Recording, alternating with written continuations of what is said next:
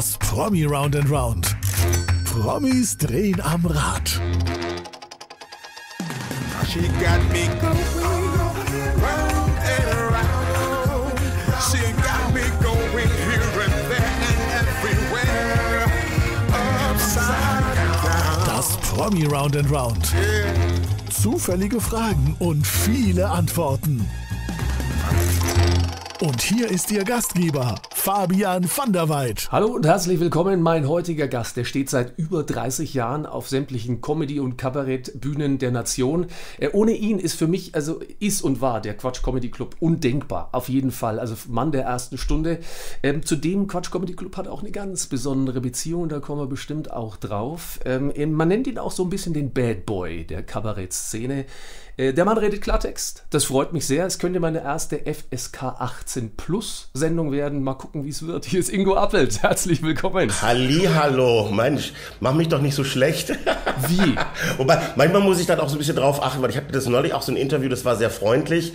Und da habe ich dann auch gesagt, mach mal ein bisschen was Schmutziges rein, sonst geht mein Image kaputt. Ja. Also ich habe ja doch dieses, dieses Bad Boy-Image. Aber ich bin, jetzt muss man ein bisschen aufpassen, ich bin privat so nicht. Also das muss man schon sagen. Ja, Gott sei Dank. Ich meine, das ist ja sind ja immer zwei Persönlichkeiten. Gott sei Dank, so leichte Schizophrenie gehört Gott sei Dank zum Berufsbild. Aber jetzt mal ehrlich, es war, du hast, äh, ich habe ja ein bisschen recherchiert. Bundesjugendkonferenz der IG Metall 89 war der erste Auftritt Ja. dieses Herrn hier. Seit 93 hauptberuflich, über 30 Jahre. Das ist doch der Hammer, das ist doch unglaublich, oder? Über 30 Jahre jetzt in dem Job. Ja, ich, ich schmier es mir jetzt nicht so ähm, aufs Brot, weil Und das ich mit komme mir wieder 35. so alt vor. Aber das Geile ist ja, wir sind ja in so einem Alter, wo man, man ich bin ja jetzt auch 57 Jahre alt und wir kommen uns ja nicht alt vor. Warum? Weil die Alten von früher immer noch unterwegs sind. Also es gibt immer noch Herbert Grönemeyer, den habe ich damals als in den Anfängen habe ich den parodiert. Was, ne? Was, was, ho, ho. Das war einer meiner ersten Parodien. Herbert Gröner, der Udo ist immer noch unterwegs, ne? ist immer noch dabei. Ne? Das heißt, oder auch, auch Roland Kaiser, ich bin damit aufgewachsen. Als Kind habe ich den im Rahmen, der steht immer noch auf der Bühne und sehen, jetzt ach, seit 50 Jahren ist der unterwegs, unglaublich. Und deswegen merken wir nicht, dass wir alt werden, weil um uns herum wird alles immer noch viel älter. Geil. Ja, Gott sei Dank. Ich meine, ganz ehrlich, und also man ist so alt, wie man sich fühlt. Ich meine, der Rücken sagt, man ist älter, als man sich hier oben fühlt vielleicht. Aber würdest du jetzt so jungen Kollegen raten überhaupt nur sagen, ey, also geht in die Kabarett- und Comedy-Szene oder sind eigentlich alle Nischen besetzt irgendwie? Nein, also ich, ich mache ja selber hier auch in, in Berlin den Nachwuchs. Ich habe hier diesen Hotshot, das ist vom Comedy, vom Quatsch Comedy Club Ja. ist das der Nachwuchswettbewerb quasi, da suchen wir junge Leute aus und das moderiere ich ja auch. Und ich finde es ganz interessant, wir haben wirklich eine ganz andere Art und Weise, äh, wie man Comedy wahrnimmt. Also bei uns war es eher politisch, äh, sehr anarchisch auch, sehr frech und auch so gegen, gegen den Strom auch so ein bisschen. Nicht alle, aber doch viel. Und das ist heute ganz anders. Das ist wirklich eine ganz andere Art. Das ist eher freundlich und so, ja, ich bin Veganer, ich bin Syrer, ich bin äh, Marokkanerin und bla bla bla und meine Mama und mein Vater und meine Freundin und mein Mann. Also das ist alles so ganz persönlich und auch alles sehr freundlich und da geht es eigentlich immer um den Menschen. Eine sehr, also ich würde ja heute sagen, sehr narzisstisch eigentlich, dass man eigentlich die ganze Zeit nur von sich selber redet, während so, so Leute wie ich doch eher dazu neigen, auch zu politisieren, äh, Zustände aufzuzeigen, Und den Finger auch mal in die Wunde ganz offen zu legen. Klartext eben. das reden. Salz in die Wunde reinkleistern, ganz genau. Ja, mir ist ja auch immer wichtig, und das mache ich, das merke ich jetzt ja auch, jetzt gerade nach der Pandemie, ich merke schon, dass diesen, diesen, diesen Aggressionstherapie-Touch, den es für mich schon immer hatte, also ich war schon immer jemand, der auf die Bühne gegangen ist, um auch da so ein bisschen frech zu sein, aggressiv zu sein, um die Leute auch so ein bisschen zu provozieren, rauszuholen, um auch mal ein bisschen hier mal Kopf an, mal, ne, lasst euch doch nicht alles gefallen. Also so, dass dieses Rebellische, das habe ich jetzt schon wieder, Das ist lustigerweise. Schön. Das ist total schön. Ich meine, es heißt ja auch betreutes Hassen mit Ingo Appel. So nennst du das Ganze ja so ein Hassseminar. Das nenne ich auch Stunden. so. Das finde ich Ja. schön. Lacht, lacht kaputt, was euch kaputt macht. Finde ich ein total schönes Motto. Alter, ganz alter Spruch, Sponti-Spruch, glaube ich, aus den 70ern. Richtig, ja. Lacht kaputt, was euch kaputt macht. Und ich glaube, das waren, wer war das denn? Wer hat das denn damals gemacht? Äh, Da, Arnold Rating war dabei. Ähm, ich habe es vergessen, wie die hieß. Aber auf jeden Fall total tolle Leute waren damals unterwegs. Es war sehr anarchisch. Und ich habe so das Gefühl, dass man das wieder, entweder auf der einen Seite wird's gebraucht und auf der anderen Seite wird's total gehasst. Also ich habe natürlich auch einen Shitstorm nach dem nächsten. Äh, ich erlebe auch Cancel Culture. Das ist für mich äh, auch manchmal sehr befremdlich, dass so Theater sagen, äh, wir können politisch uns nicht mit dem identifizieren, was du da machst. Und deswegen, wo du auch sagst, äh, steht nicht bei uns im Grundgesetz, eine Zensur findet nicht statt. Das stimmt. Aber die Leute kriegen es nicht. Das ist, das ist manchmal paradox, oder? Also äh, Meinungsfreiheit und dann sagst du, eigentlich brauchen wir also Plurali Pluralismus, mehr Meinungen und so weiter. Aber dann wird dann auch mal gefragt, oh, Rasterlocken hat er als Weißer und kann, da kann er bei uns jetzt... Und das geht gar nicht. Ja, weißt du, das ist total irre. Das heißt, du darfst, also Indianer darfst du nicht mehr sagen, Zigeuner geht nicht mehr. Ich habe mir extra Zigeunersoße gekauft, bevor sie weg war. Habe ich mir jetzt in ganzen Keller, ich kann mir vor wie Lorio beim Senf kaufen, aber egal. Ich fühle mich da total herausgefordert. Auf der einen Seite sagst du, äh, wir nehmen Kulturen an, ja, wenn ich jetzt sage Rasterlocken. Warum ist das, ist es denn verwerflich? Ja, du kannst in, demnächst dein Geschlecht ändern, aber keine Rasterlocken tragen. Also es ist alles, es wird alles so radikal in alle Richtungen. Und da hat natürlich so ein Radikalinski wie ich richtig Spaß ist ja, ja klar. Das kann ich mir vorstellen. Ich meine, das sind die Themen, die werden dir quasi vor die Füße gewürfelt momentan. Richtig. Das kann ich mir ja. vorstellen. Apropos Themen vor die Füße würfeln, du weißt eigentlich noch gar nicht so recht, äh, was so auf dich zukommt hier bei unserem kleinen Gespräch. Wir sind ja mittendrin schon. Ja, ich habe jetzt auch einfach mal, ich nehme ja alles an, also ich, ich traue dem, meinem Management ja auch, die haben mir das vorgeschlagen, die haben das inszeniert und ich gehe davon aus, dass ich jetzt nicht... Ähm, fertig. Ich hatte ja mal so, verstehen Sie Spaß oder so. Da wird man ja schon manchmal ganz schön verarscht. Oder manchmal wird man auch missbraucht. Ich hatte das jetzt im, im Wahlkampf äh, in, in, in Thüringen und Sachsen. Da haben sie teilweise Sachen total verfremdet aus meinem Programm rausgenommen und damit Wahlkampf für die AfD gemacht. Das ärgert mich dann schon, dass sowas gemacht wird. Nur weil ich sage, gendern finde ich nicht so geil. Ich finde aber auch die, die sagen, ich will nicht gendern, die finde ich teilweise noch schlimmer. Also ich finde alles, was, was, so, was so radikal Extrem, wird, ist ja, mir eigentlich ja, so wieder. Ja. ja, vor allen Dingen, ganz ehrlich, du gehst ja auch offen damit um, du sagst, ich bin, bin weiterhin Mitglied der SPD, ob überzeugt ja. oder nicht, da reden wir vielleicht nachher noch drüber. Aber also der Mensch. Traurig, traurig. Ich bleib drin, ich bin wahrscheinlich bald der Letzte. Du, du machst das Licht aus irgendwann mal, ja? Vielleicht. Kriegen also, wahrscheinlich. Mit Kevin Kühner zusammen. Ab und zu, lieber Ingo, wird hier mal so ein Rädchen äh, kommen. Ja, und dieses Rädchen drehen wir jetzt auch gleich mal für dich. Das ist unser Überraschungsrädchen. Ich weiß auch selber nicht hundertprozentig, was da kommt. Da kommen Kategorien und da gibt uns die Dramaturgie ein bisschen vor. Und also du machst jetzt Glücksrad für mich. Du machst jetzt Glücksrad. Richtig, Glücksrad und im Namen steht ja schon Glücksrad. Also es kann gar kein Pech sein. Die erste Frage allerdings habe ich nicht so Glück. Das ist gleich mal die privateste Frage des Gesprächs. Da bin ich mal, da passiert es manchmal, dass meine äh, äh, Gesprächspartner da so unten rechts auf den Auflegebutton drücken. Ich hoffe bei dir ja. heute, heute, nicht. Die privateste äh, Frage des Gesprächs ähm, ist jetzt so: Du bist ja, du bist ja Mann des Klartextes, hast aber auch klargestellt. Ähm, ich bin natürlich die Bühnenpersönlichkeit. Also hier sehen wir gerade im äh, Videocast aktuelles Programm noch, heißt es, Startschuss. Da bist du Klartext, da bist du gerade raus. Und dann sagst du ja auch in dem Programm Männer, wir müssen mehr Dienstleister werden, das Matriarchat muss wieder gestärkt werden. Du schilderst sehr plakativ, muss ich sagen. Meine Damen und Herren, sehr plakativ. Er macht jeden Morgen seiner Frau Frühstück. Äh, ich sage jetzt nicht, dass es ein Adam, Adams Kostüm ist und äh, also du bedienst sie, machst so eine Prinzessinnen-Szene. Jetzt Klartext, privateste Frage des Gesprächs als erstes. Ist das jemals vorgekommen oder ist es nur die Bühnenpersönlichkeit? Nein, nein, das ist, kommt tatsächlich vor. Ich meine das auch ernst. Ich bin so ein Versorger und so ein Glücklichmacher. Also gerade im privaten Bereich, auch auf der Bühne mache ich das ja gern. Ich will, dass die Leute da lachend rausgehen und nicht, dass sie verzweifelt sind und da rausgehen und sagen, um Gottes Willen, was ist denn hier los? Sondern ich versuche, die Menschen wirklich glücklich zu machen. Das habe ich so ein bisschen auch von meiner Mama. Die hat das auch immer gemacht. Meine Tante hat das auch gemacht. Und ich musste auch, meine Mutter war alleinerziehend. Und ähm, ich war der Große quasi, ich hatte noch eine kleine Schwester. Um die musste ich mich kümmern, aber auch ein bisschen um meine Mama, weil die war manchmal auch sehr verzweifelt. Als ich jetzt äh, vor kurzem mal wieder diesen Film gesehen habe, ähm, Der Junge muss an die frische Luft mit Harpe Kerkel oder die Geschichte von Harpe Kerkel, da habe ich mir auch ein bisschen ein Tränchen rausdrücken müssen, weil mir ging's ähnlich. Meine Mama war auch eher so verzweifelt und krank und nicht gut drauf.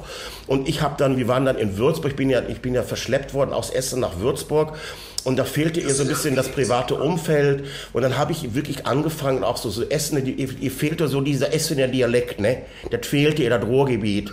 Und so fing das bei mir an zu parodieren. Da habe ich äh, Jürgen von Manger, also Adolf Techtmeier, habe ich dann nachgemacht. Und das fand die natürlich dann total schön. Ne? Lachen so als Therapie.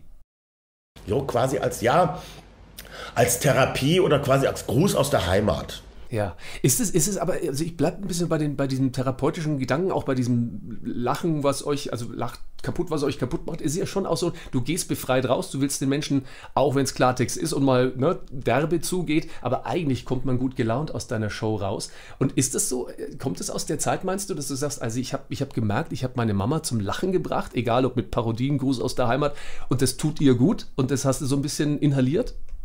Naja, ich glaube, ich habe auch, ich bin ich mache keinen Sport beispielsweise. Also ich habe kein Workout im Sinne von, ähm, dass man mal seine Wut irgendwo, was weiß ich, es gibt in Berlin Crashrooms, da kriegst du einen Baseballschläger in die Hand, kannst du Büroeinrichtung zertrümmern, 80% Frauenanteil. Also manchmal muss man ja körperlich was tun, um seinem Ärger irgendwie äh, freien Lauf zu lassen. Ich habe keinen Sport, die Kinder ankacken kannst du auch nicht mehr, die Frau verprügeln, das ist auch nicht mehr in Mode.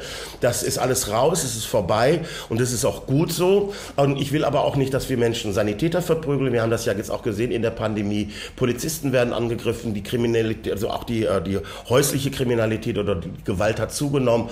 Also wir müssen irgendwo hin damit. Und da finde ich schon, dass so eine, so eine, so eine Comedy, so die wie ich, die ich so auch so, so, so, so derbe wie sie ist, äh, das hat schon so ein bisschen was wie von, vom Heavy Metal Konzert. Ventil. So ein bisschen was Headbanging ja. und äh, wir lassen es mal raus. Ja.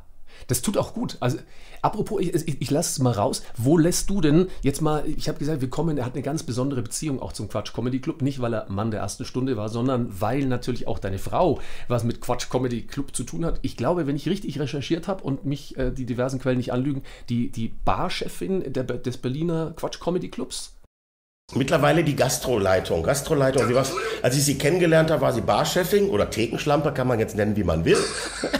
Wie, wie ist denn das? Also ist denn deine Frau Sonja dann auch quasi die erste Empfängerin deiner ersten Punchlines? Äh, kriegt die das als erste? Nein, überhaupt nicht. Nein, nein, nein, nein, okay. gar nicht. Also ich bin nicht jemand, der zu Hause rumläuft und die ganze Zeit Witze ausprobiert. Ich gebe ihr meine Texte. Ja. Wenn ich jetzt für nur im ersten oder irgendwas einen Text geschrieben habe, dann lege ich ihr den hin und sage, wie findest du den? Das macht sie schon, aber sie ist jetzt nicht diejenige, die ich besch Lustigerweise, Sonja lacht grundsätzlich sehr gerne. Also das ist schon mal eine gute Voraussetzung. Sie isst gerne und sie lacht gerne. Und deswegen, also wir fressen zu viel. Das ist leider unser Problem, deswegen sehe ich auch so aus. Ich bin halt auch der Koch und traue nie dem dünnen Koch. Und ich werde meiner Mutter lustigerweise immer ähnlicher. Die hatte auch mal diese Hamsterbacken. Fürchterlich. Mich nervt das total. Und sie fühlt sich auch immer so wie so, ah, aber wir essen halt leider erst spät abends. Also ich gehe zum Beispiel hier in Berlin in die Wühlmäuse. Da spiele ich mein Programm, dann komme ich nach Hause, dann bin ich um elf, halb zwölf zu Hause. Sie kommt um halb zwei.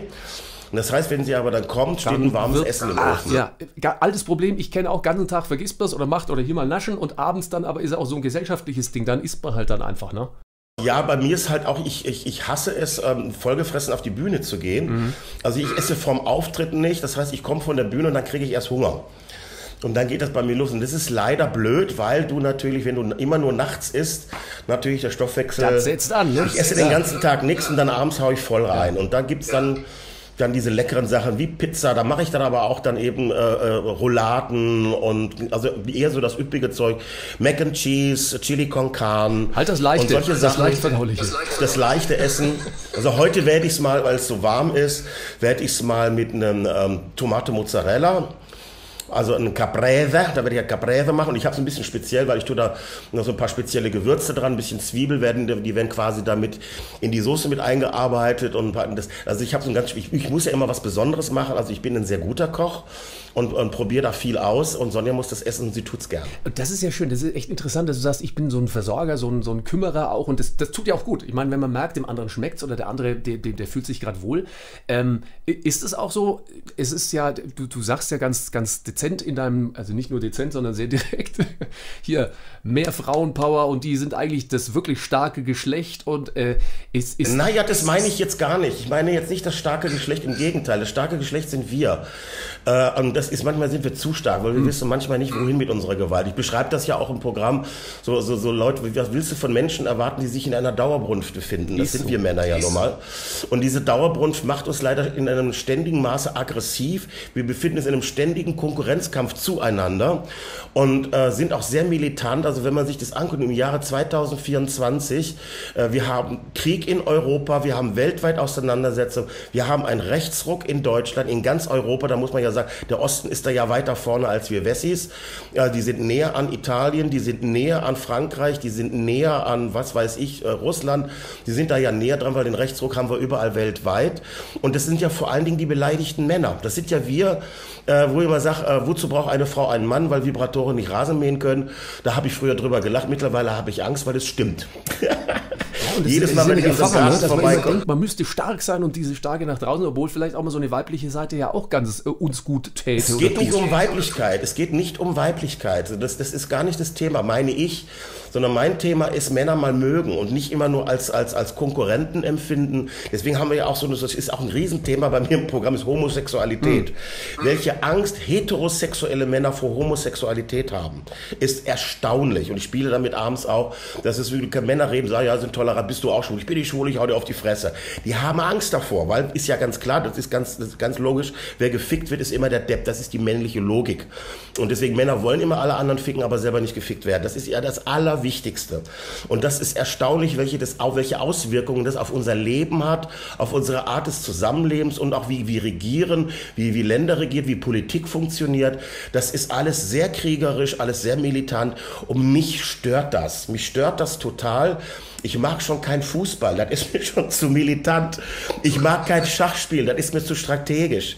Ja, weg mit diesem ganz, ganz, dieses, dieses ständig konkurrieren. Das sind wir Männer. Wir können Milliardäre sein, wir sind immer noch unzufrieden, weil der andere hat noch mehr. Das ist so eine männliche Grundart, die ist schrecklich. Ja, ich sage jetzt nicht, dass wir in der, im, im Vorgespräch gerade eben, ja, wo wir die Kamera eingestellt haben, sage ich, das machen wir alles in der, in der Nachproduction, das, was bei uns an Falten da ist. Ja, dann sagt er, mach mir die Haare bitte so wie von Trump. Also, das verrate ich aber jetzt nicht an dieser Stelle. Das ist doch so ein typisches Alpha-Männchen-Verhalten, das du da auch schilderst, oder? Was da, was da. Ja, das ist das. Und das ist, das ist ganz, das ist genau dieses, dass die Leute auch noch drauf stehen. Also das ist so, das hat so dieses, dieser Normalismus bei, bei dieser, dieser Art von Männlichkeit, dass der sagt, to grab her pussy und die Leute sagen, das ist einer von uns. Das ist so eine ganz klare Sehnsucht nach gewisser Normalität auch. Und da scheint es in der Politik, ich habe das ja auch, du hast ja gesagt, ich bin in der SPD, die Sprache in der Politik, die wir normal haben, die ist verheerend, verheerend. Ich habe das damals auch gehabt, ich bin in Bayern in die SPD eingetreten, in Würzburg, da war ich 1920. Und ich war Jugendvertreter bei Siemens. Ich war so ein Arbeiterkind. Und ich bin da rein und bei den Jusos, da saßen nur Juristen, ähm, äh, ähm, also vor allen Dingen Akademiker, Wirtschafts, keine Ahnung. Und die saßen da, guckten mich an und, und was ist das denn ein Arbeiterkind? Und dann haben die mich gefragt, ob ich denn neoreformistischer Marxist oder reformistischer Marxist bin. Ich habe die, hab die angeguckt, gesagt, ihr Arschlöch, ich bin evangelisch und bin gegangen. Und es ist genau so passiert. Und es ist genau das Problem, was wir haben. Hab das ja auch gehabt, 1. Mai, DGB. Ich stehe in Köln auf der Bühne, ficken, bumsen, blasen. Dann steht eine junge Frau vor der Bühne, eine von den Funktionärinnen, und die sagt, lieber Ingo, wir wünschen uns ein, Niveau, ein niveauvolleres Programm. Und da habe ich die angeguckt und habe gesagt, stellst du dich auch bei Rammstein in die erste Reihe und sagen, wir hätten es gerne ein bisschen leiser. Aber das sind so diese Leute, die meinen, sie müssten anderen sagen, wie es geht. Und wo ich dann auch gesagt habe, dann, wenn du Lehrerin bist, war Lehrerin, ja. Ich sage, wenn du mit echten Kindern zu tun hast, das wirst du nicht überleben. Grüß jetzt schon mal dein Burnout. Wo ich, mein, mein Credo ist, wenn du eine halbe Stunde Ingo Appelt nicht aushältst, dann bist du nicht fit fürs Leben. Und da ist auch ein bisschen was dran. Ja, und deswegen mal reingucken hier. Also ganz ehrlich, mal reingucken, das ist wirklich, das ist ein bisschen, das ist, ja, ich, ich bleib dabei. Es ist ein bisschen, ist Politik, ein bisschen Therapie, auch ein bisschen auch selbst, also mit, Lachen und mit, und falls ihr mal ganz kurz, das der Werbeblock hier, ne? Falls ihr nicht wann und wo er unterwegs ist, übrigens auch bald wieder mit neuem Programm, sprechen wir gleich drüber. Guckt mal auf ingoappelt.de, da sind alle Termine auch äh, aufgefüllt. Was sagst du denn deinen Kindern? Also, das ist ja schon eine glühende Rede. Was kriegen die denn so mit äh, fürs, fürs Leben vom Papa? Ja, ich, ich lebe das natürlich auch vor. Also auch da dieser Dienstleistergedanke. Also ich habe sehr freundliche Jungs. Muss ich aber jetzt aber ganz ehrlich sagen, waren sie auch schon immer. Also ich habe ja so mit denen nie so diese, dieses, dieses Jungs und wir gehen in den Wald und mit Schwertern und mit Messern und wir kämpfen jetzt. Das habe ich nie gemacht. Ich habe mich mal irgendwann aufgeregt, weil die waren, die haben wieder gekämpft. Wie immer im Pool, irgendwo im Urlaub. Sag mal, geht noch was anderes? Außer dass er euch reinschubst und boxt und, und Judo spielt und Karate und töten und erschießen. Dann filmen sie sich auch noch dabei und es ist immer nur töten und, und sterben und Krimi und Und, ja, erst, und dann habe ich gesagt, naja, lass mal, macht einfach. Weil ich, mir ist auch nichts eingefallen. Jetzt mit den Blümchen pflücken hat dann auch keinen Sinn. Hat auch nicht funktioniert. Jetzt, oh, guck mal, guck mal, jetzt wird, jetzt wird hier, guck mal, jetzt wird ein, ein Round and Round eingespielt. Das heißt, es ist Zeit für das zweite Drehen des Rades. Das geht digital bei uns heute mit Ingo Appelt.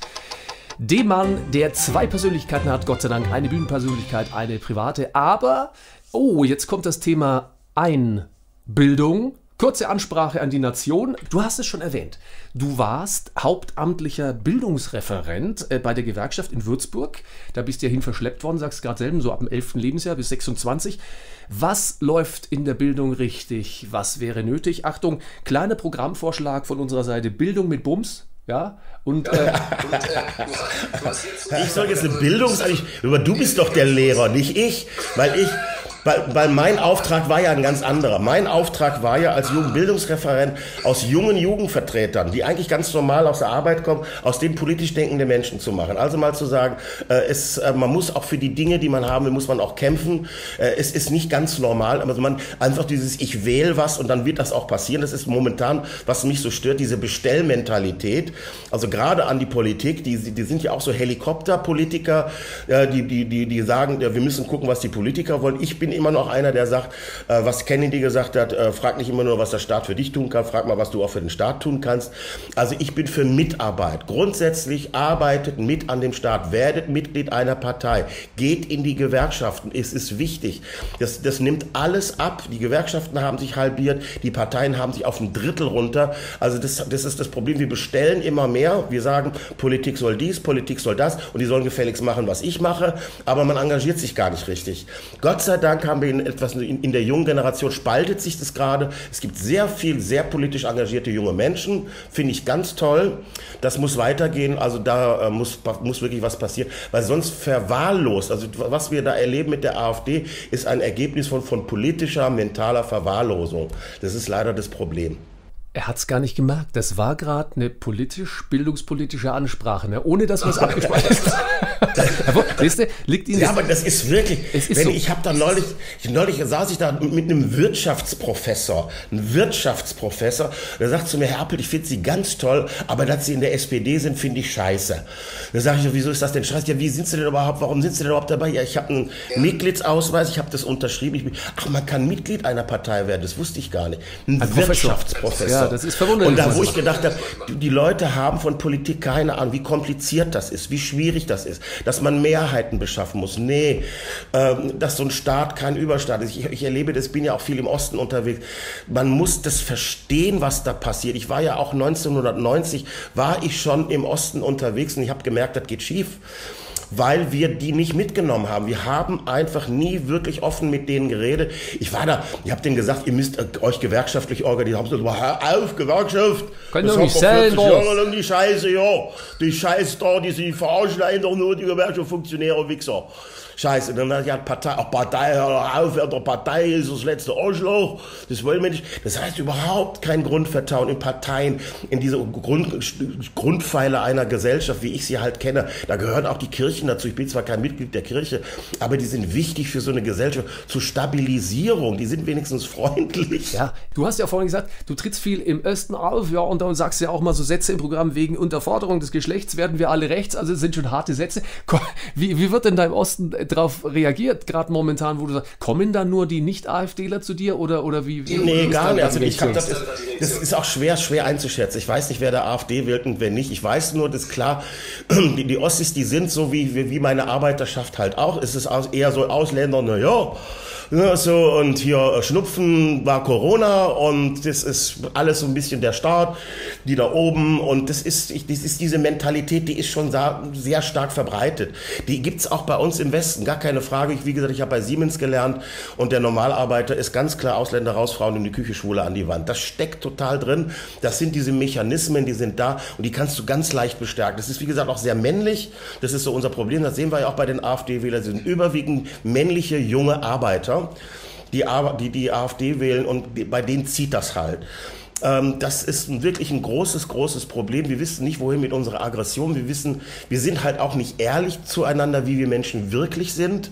Ne, wir sind ja alle äh, tolerant und freundlich. Nach außen das zumindest, Sind wir ne? leider Ja, ja, überhaupt ja, ja, nicht. Wir sind eher, wir sind eher in der Abgrenzung. Also ist, weil dann, wenn ich dann immer so einen Lanz höre oder den Precht, die mir dann immer erzählen, ja, man muss die Dinge auch mal positiv nehmen, aber wir müssen sagen, was wir wollen und nicht immer nur sagen, was wir nicht wollen. Wir definieren uns, glaube ich, alle eher nach dem, was wir nicht wollen. Ich bin nicht in der SPD, weil ich die SPD so gut finde, sondern weil ich damals die CSU so scheiß fand in Bayern. Mir ging dieser Franz Josef Strauß, mir ging diese ganze Partei, die ging mir auf den Sack. Kommt natürlich noch hinzu, ich komme aus dem Ruhrgebiet, da ist man eher sozialdemokratisch. Ich bin in Bayern eh durchgefallen. Die haben mich gemobbt, die haben mich ausgegrenzt. Äh, Ich war der einzige Evangele. Ich war da, ich, war, ich saß auf der, ersten- mein, mein Lehrer hat damals zu meiner Mutter gesagt, ihr Sohn ist sehr intelligent, aber sie erzieht einen, einen Terroristen, weil ich wusste, wie man Willy Brandt richtig schreibt. Ist kein, ist ich kein, wusste, ist wie kein Scherz, oder? Jetzt? jetzt? Nein, ist wirklich so. Ist wirklich so. Also, und das war wirklich, das war auch diese strenge. Ich kam da rein in diese Schule mit elf Jahren, du hast es schon gesagt. Ich kam da nach Würzburg, ich kam von einer, einer, von einer modernen Gesamtschulkonzept in Bottrop. Das heißt Fischertechnikräume, Kino, eine Disco im Keller, äh, wo du gelernt hast, äh, Platten auf den DJ haben sie dich da mehr oder weniger angelernt. Das war so eine Spaßschule. Das hat Freude, das war modern und kleine Klassen, äh, ganz modern. Und dann kam ich in Bayern, kam ich da an, da war ich in der fünften Klasse, da waren die Mädels rechts, die Buben links, Geschlechtertrennung. Wir haben die Deutschlandhymne gesungen, wir haben gebetet und dann haben wir uns hingesetzt. Also das war wirklich krass. Ich habe echt gedacht, ich bin hier im Dritten Reich gelandet. Und das war 1978. Kulturschock. Also Das so, ist echt krass. Kulturschock. Ich habe mich auch gewundert, weil du bist ja echt lange, vom 11 bis 26 ist ja doch eine ganze Zeit, gerade eine prägende Zeit. Ähm, du hast auch nie den unaufränkischen, in dem Fall unterfränkischen Dialekt oder ähnliches angenommen dann. Wahrscheinlich aus dem Grund. Ja, ich kann schon wegen Fränkisch, also das Fränkische, das kann man schon wegen annehmen. So ist es fein nicht, ne? aber wenn ich so rede, das, ist, das klingt immer gleich wegen primitiv, finde ich. Wegen. Und ich habe es nicht gemocht, solange ich da war. Lustigerweise fing ich mit dem Fränkischen erst an, als ich weggezogen bin. Und es ist so lustig, ich habe ja eine Schwester, die ist vier Jahre jünger als ich. Und äh, wenn du die hörst, die ist total breit, fränkisch, Fränkisch. ne? Servus, Leute, ich bin deine Schwester und hast du mal, äh, äh, ich muss mal mit dir geredet. Und äh, das ist schon wirklich krass. Ich habe da wirklich lange gelebt, aber ich habe den Dialekt, ich wollte das auch nicht. Ich war dann immer ein Sonderling halt auch. Äh, also diese ganzen Jahre da, das war wirklich einfach nicht immer schön, muss man auch sagen. Kann ich mir vorstellen, das prägt natürlich auch sehr und auch deswegen, glaube ich, hast du damals schon kein Blatt vor Mund genommen. Ich denke, das ist auch eine Typfrage in, im neuen Programm, das jetzt kommt. Aktuelles Programm, nochmal der Hinweis, Startschuss läuft Startschuss. momentan noch. Guckt nochmal Ja. ne, auf ingoappelt.de. Und dann ist aber was Neues im Köcher, meine Damen und Herren, ja, ist natürlich so, der sitzt ja nicht nur faul daheim, sondern er arbeitet an. Jetzt bin ich gespannt, was ich, heißt das jetzt Ingo Appelt, Männernerven stark oder Männer nerven stark? das, das Beides. Beides, ne, oder? Das ist ja das Wortspiel. Sehr schön. Männer nervenstark. Also Männer nervenstark, das ist, also wir müssen auch Nerven haben. Also ich, brauch, ich bin auch eher so der Meinung, wir müssen tendenziell mehr Nerven haben. Das merke ich ja auch im Programm abends. Das ist ja schon, das geht ja alles schon in diese Richtung. Also meine Programme sind ja nie so, dass ich ein komplett neues Programm schreibe, sondern ich bin so ein Patchworker. Das heißt, ich nehme immer das, weil ich mache den Job jetzt seit ja, 33 Jahren und äh, da habe ich sehr viel auf Lager. Ich habe auch schon viele Ideen äh, schon mal angefangen und, und dann wieder mal aufgenommen und dann mal.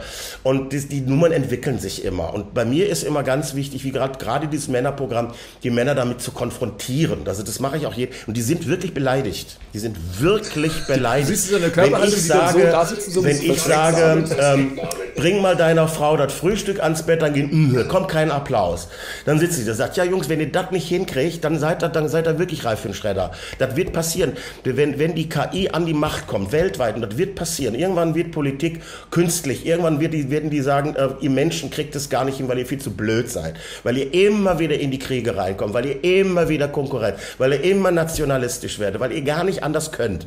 Und deswegen wird dann irgendwann die KI sagen, wir müssen weltweit zusammenarbeiten. Das wird irgendwann kommen. Da bin ich mal gespannt. Und wenn wir nicht aufpassen, dann werden wir Männer diejenigen sein, die in, die, in, in den Kükenschredder Dann reinkommen. sind die Ersten, die wegkommen. sind immer alles kaputt. Wir sind diejenigen mit unserem Verbrenner. Wir, wir sind diejenigen, die sagen, Klimaschutz braucht man nicht. Wir sind diejenigen, die sagen, Krieg muss her. Wir müssen Waffen. Wir sind diese Nazi-Köpfe. Wir sind die mit dem Kalifat. Wir sind die Taliban. Wir sind Donald Trump. Wir sind der Ku Klux Klan. Es sind immer wir. Und das ist ja so etwas, das geht mir total auf den Sack. Das ist aber die Vorsitzende Weil- von der AfD eine Frau. Wie erklärst du dir das denn? Das finde ich auch ganz seltsam. Das hast du ja überall. Das finde ich ganz seltsam. Du hast Meloni in, in, in, in, in Italien, eine Frau. Ja. Du hast Marie Le Pen, Pen in Frankreich. Marine Le Pen in Frankreich. Das heißt, das stehen dann bei, bei Wilders bin ich mir noch nicht so sicher, was da ist. Kann man ja demnächst selbst entscheiden. Ähm, das ist wirklich erstaunlich, äh, dass Frauen, gerade was die Rechten anbelangt, dass da so viele Frauen Anhänger sind.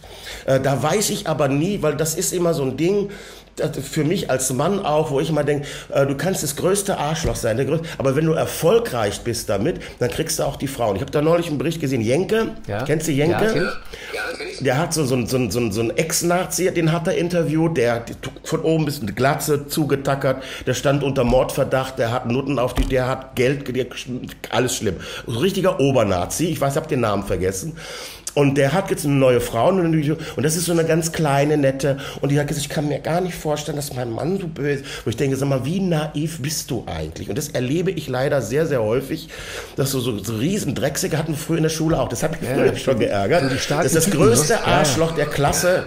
Immer die schöne Frau der Klasse abgegeben. Immer die, die, die, die, die, die, die, die schönste der Klasse war immer mit dem, dem Arschloch, der schon dreimal sitzen geblieben, der schon eine Kippe im Maul hat, ein Moped vor der Tür stehen hat. Da waren sie drauf. Und da habe ich immer gedacht, ah. Und da habe ich mich neulich auch mit einer Frau unterhalten, die gesagt, ja, das kann sie verstehen, hatte sie auch.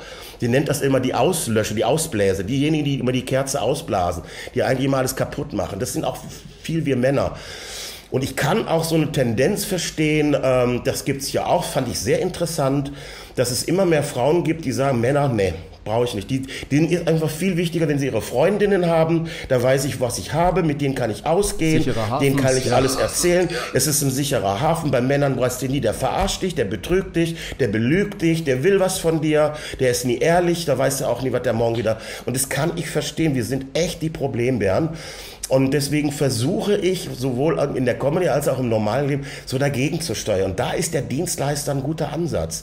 Also da eben zu sagen, ich mache meine Frau glücklich, ich mache meine Kinder glücklich, weil da lernst du viel. Also auch mit den Kindern. Weil ich war da auch, das ist ja immer, der Abbild ist immer so, ja, der, der, der frisst alles, was vor die Flinte kommt. Nee, das stimmt nicht. Seit ich die Kinder habe, äh, bin ich so ein bisschen weg von der Bockwurst, weil ich selber für die gekocht habe. Das heißt, wenn du in so einem fürsorglichen ähm, Be- Betrieb wenn du, wenn du dich um andere kümmern musst, dann wirst du fürsorglicher. Du achtest ganz anders auf Lebensmittel. Du achtest ganz anders auf Sprache. Du achtest da anders drauf. Und deswegen ist es für mich zum Beispiel wichtig, auch zu sagen, da bräuchte man mal so ein, so ein, so ein, so ein, Elternjahr für Väter mal verbindlich. Da bin ich, da bin Jeder ich Mann müsste eigentlich ein bis zwei Jahre zu Hause bleiben. Für jedes Kind ein Jahr. Ich habe das gemacht tatsächlich. Ich war also, als mein Sohn, als der Felix geboren worden ist, bin ich ein Jahr zu Hause geblieben. Das hat meine Karriere tatsächlich ruiniert. Das muss ich ganz klar sagen. Äh, Ich war dann von 3000 Zuschauern runter auf 100. Also wenn du ein, also ich war von anderthalb, zwei Jahre Weg vom wenn du dann Fenster. nicht Ja, ja. stattfindest. Das ist so, ich habe gedacht, ich fange dann wieder an und dann waren die Zuschauer weg. Da war, und das ist ja so eine große Angst, die viele, viele, viele gerade selbstständige Männer auch haben. Weil wir immer das Gefühl haben, äh, wir müssen, ne, die, die Frau ist schwanger und er macht Überstunden und verdient und nimmt, nimmt noch sechs Job dazu und macht und macht, weil wir das Gefühl haben, wir müssen und müssen und müssen. Nee, wir müssen nicht. Ich habe meiner Frau auch die Möglichkeit einfach geboten, selber arbeiten zu gehen und dann teilt sich das nämlich so ein bisschen auf.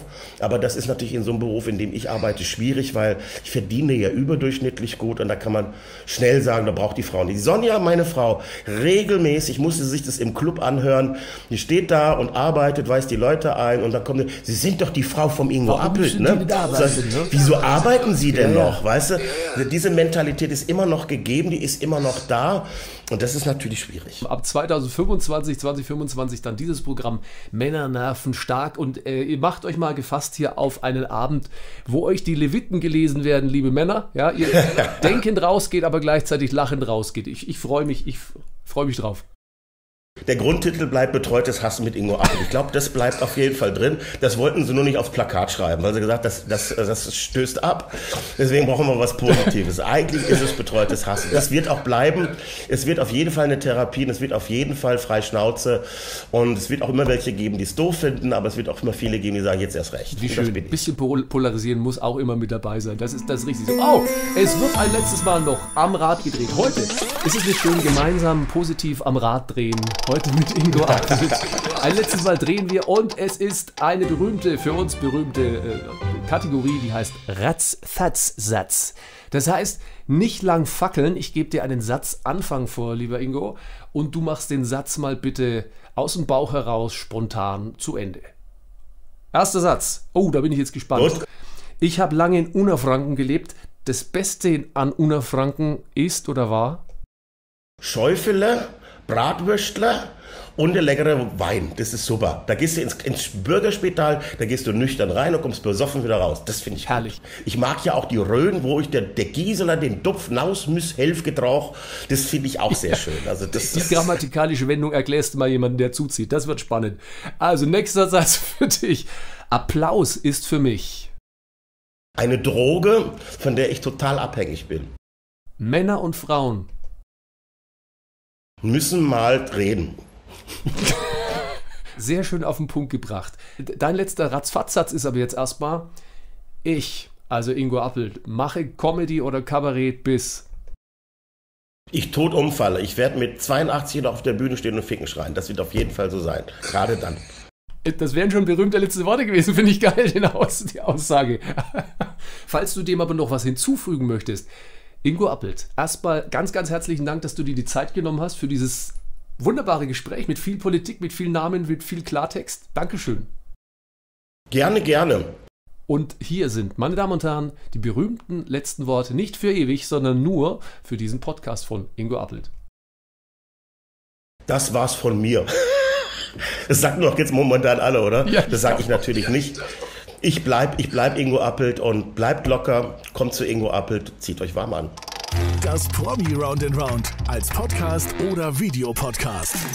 She got me going round and around. She got me going here and there and everywhere. Upside. Weitere Folgen findest du hier.